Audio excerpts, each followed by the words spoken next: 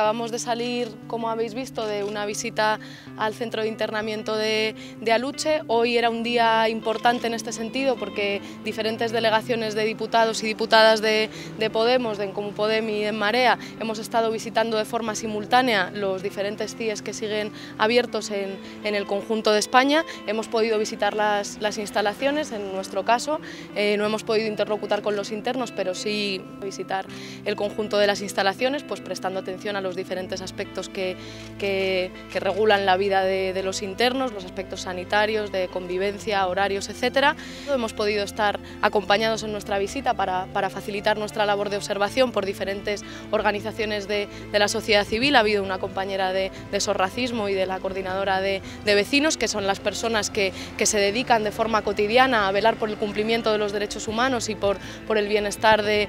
las personas que están aquí internadas. Nos quedamos con la sensación de que a pesar de no ser un ámbito carcelario, pues tiene muchas de las características de, de un ámbito carcelario y bueno, en eso ha consistido la,